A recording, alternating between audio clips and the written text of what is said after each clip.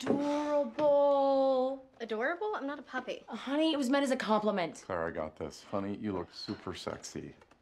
Ew. Well, we tried everything. Oh, hey, buddy. Wait, wait, wait! We want to meet this Casanova. Oh no, parents aren't really his scene.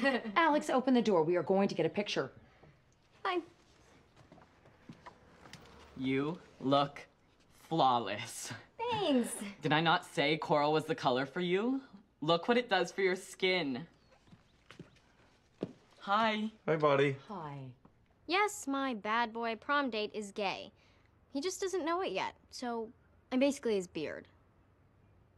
Pre beard. His stubble.